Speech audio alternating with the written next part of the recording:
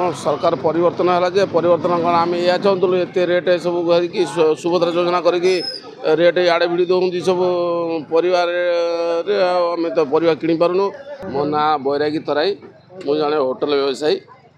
ଆଉ ଦରଦାମ ତ ଦେଖୁଛନ୍ତି ପିଆଜ ତ ଥିଲା ତିରିଶ ଚାଳିଶ ବର୍ତ୍ତମାନ ସତୁରି ଟଙ୍କା ହେଲାଣି। ଆଉ କ'ଣ ପରିବର୍ତ୍ତନ ସରକାର କରୁଛନ୍ତି? ପିଆଜ ଆମେ ନେଉ ପନ୍ଦର କିଲୋ କୋଡ଼ିଏ କିଲୋ। ଏବେ ସେଇ ଆଉ ତ ରେଟ୍ଟା ବଢ଼ିଯାଇଛି ଆଉ ଏତେ ନେଇପାରୁନୁ ଦଶ ବାର କିଲୋ ଭିତରେ ଚଳାଉଛୁ ଆଉ।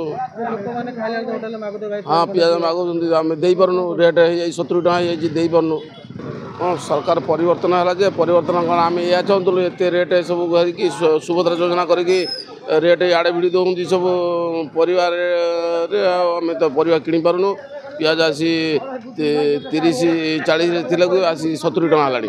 ଆଉ କ'ଣ ଆଉ କିଣି ସୁଭଦ୍ରା ପାଇଁ କ- କରିଛନ୍ତି ସୁଭଦ୍ରା ଯୋଜନା ଆଡ଼େ ଲୋକଙ୍କୁ କ'ଣ ଖାଲି ହାଇଲାଇଟ୍ କରି ହଜାର ଦୁଇ ହଜାର ଦେଉଛନ୍ତି ଆଡ଼େ ରେଟ୍ ବଢ଼େଇ ଦେଇଛନ୍ତି ଆଉ।